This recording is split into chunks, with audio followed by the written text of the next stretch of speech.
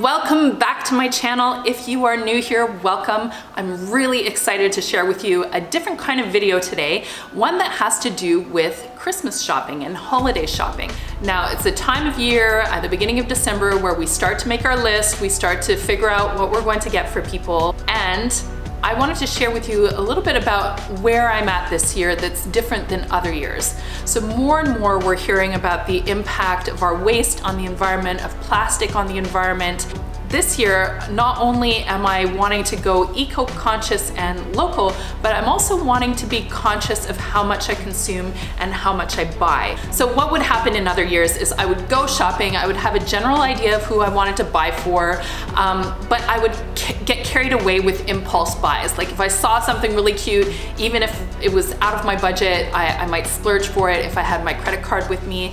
Um, so this year what I'm doing differently is I am shopping with cash the good old fashioned way like your grandmother did. My grandmother used to call her credit card that the magic little card. So without the magic little card, you have to be a lot more realistic about what your budget actually is. I'm going without my credit card, without even my debit card, I am bringing cold hard cash with me and I have calculated um, exactly how much I need for the people on my list. I really wanna make sure that I spend in a way that makes me so happy to give and doesn't give me the stress of overspending and perhaps getting into debt as so many of us do over the holidays. So the thing about shopping on a budget is that sometimes we think, well, can we really get a good enough gift? Is it going to be appreciated? And part of being a conscious shopper, budget-wise and eco-wise, is that we wanna make sure that the gifts that we buy are really going to be useful, that they're going to be used, that they're going to be loved. And so one of my challenges that I've set for myself is to not only find um, gifts that are within my budget and that are eco-conscious, but I also want it to be something that the person will actually be excited to receive. Instead of shopping at a mall or a, a big department store um, or online, I'm going to be shopping at a Christmas market. There are a couple of reasons for this. Malls, it's like temptation is everywhere and you just um, are more likely to shop more and um, more likely to get tempted into things that are not necessarily local or um, beneficial for the environment. Not only in a local Christmas market are you shopping locally, of course, but you're also saving on packaging. So I'm going to be bringing my reusable bag. I'm going to be asking the vendors not to put anything in bags for me. Um, and by not shopping online, I'm actually saving on all that extra packaging, the bubble wrap and all the other stuff, some of which is not even recyclable. A lot of the local vendors are environmentally conscious themselves and that is part of their passion. That's so touching, and I almost feel like I'm gonna cry, is that you get to meet the people who are making the clothes, who are making the items, and talk to them about their product and hear about their passion. So even just that, spending your money on something that is supporting a local entrepreneur and helping them to grow and build their passion, for me, that is so special. So let's go out to the Nutcracker Christmas Market with the challenge of finding gifts for specific people in my budget that are eco-conscious and that people are going to love, appreciate, and actually use. I'm all ready with my eggnog latte for Christmas spirit and I have my reusable bags here getting ready to shop.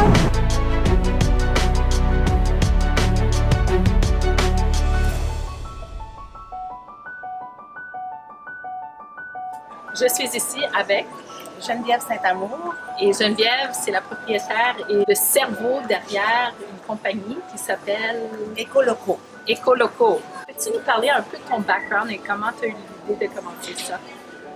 En fait, je travaille en environnement depuis que j'ai 13 ans et j'ai étudié vraiment dans le domaine jusqu'au doctorat en santé environnementale. Puis il y a quelques années, j'ai vraiment réalisé euh, l'impact euh, des gens, la difficulté de faire la transition vers une empreinte écologique plus faible. Donc, euh, j'ai voulu trouver une façon euh, de pouvoir les sensibiliser et les amener vers d'autres habitudes. Mon challenge que je me suis donné ce Noël, c'est de ne pas sortir de mon budget de cadeaux. J'aimerais que ça soit des cadeaux locaux et qui sont bons pour l'environnement ou qui n'ont pas trop d'impact sur l'environnement. Alors, est-ce que vous avez des choses à me suggérer? On a plusieurs choses en fait. Il y a des choses qui sont très polyvalentes, euh, qui sont pour tous. Si je regarde, euh, euh, admettons, les petits sacs à collation ici, premièrement, ils sont faits à partir de bouteilles de plastique recyclées. L'objectif de ces petits sacs-là, c'est effectivement de, d'arrêter d'utiliser des sacs Ziploc. Et ça, est-ce que c'est quelque chose qui est fait ici? Oui, c'est 100% fait au Québec. Vraiment, Sinon, on peut avoir un ensemble de douches ici, zéro déchet. Euh, là, ça a l'air d'un sac de plastique, mais il est compostable, soit dit en passant. Ce n'est pas du vrai plastique. Dans cet ensemble-là, on va retrouver un shampoing euh, solide. Quand je pense à toutes les, les bouteilles qu'on peut sauver de, de shampoing et ça, on l'utilise combien de fois celui-là? Ben, ça dépend du cuir chevelu, là, de, la, densité, mais ça peut aller euh, jusqu'à 90 euh, shampoings. Wow! Ça, c'est un cadeau fantastique. Donc, c'est zéro déchet, c'est fait ici au Québec, c'est vegan oui. et ça dure longtemps. Et j'ai vu que tu as des très beaux cheveux. Est-ce que tu l'utilises? Oui, je l'utilise. Alors, on sait que ça fonctionne bien aussi, que c'est un, un, produit de qualité. Euh, les pailles, c'est un plastique qui est à utilisation unique. Puis même si c'est petit, ça crée beaucoup, beaucoup de dommages aux, océans. Ici, ce qu'on a, ce sont des pailles euh, en acier inoxydable avec euh, une petite brosse euh, pour bien les nettoyer. Donc, ce sont des pailles qui vont être bonnes à vie. Ici, on a les petits chiffons, en fait, qui servent à remplacer les essuie-tout. un simple chiffon comme ça va absorber jusqu'à 20 fois son poids en eau. On peut le réutiliser, le réutiliser, puis sauver jusqu'à 25, 30 rouleaux de, papier essuie-tout. Euh, puis en fin de vie, ben, c'est compostable.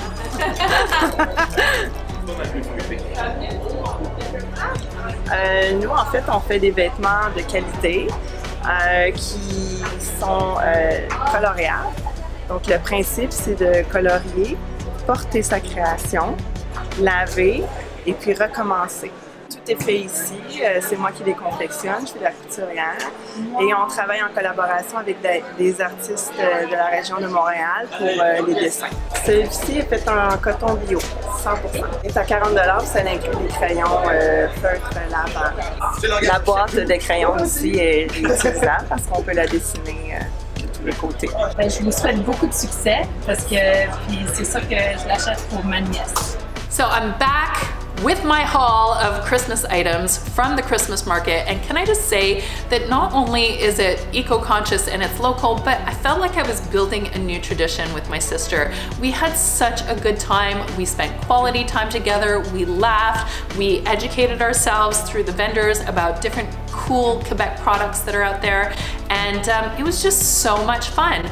Couldn't believe the number of amazing vendors that there were. There was something for everyone, really. There were like Quebec maple syrup liqueurs and there's alpaca, I think that's alpaga, alpaca.